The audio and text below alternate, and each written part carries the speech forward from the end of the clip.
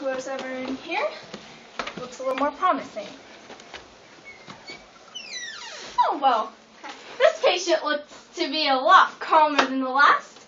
Hi, I'm Christina Thursby from Ox News. What's your name? Okay, would you, would you mind if I took a few questions?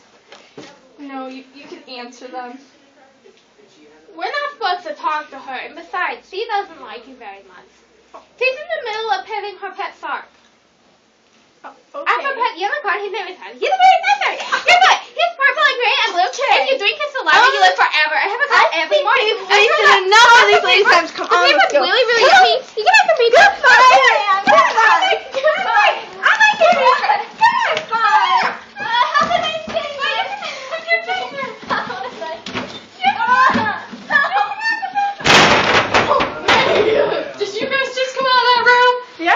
problem with that. You are not allowed to be in there. There is a terrorist in there, and you are not allowed to be in there. This is a high security room. I'm sorry.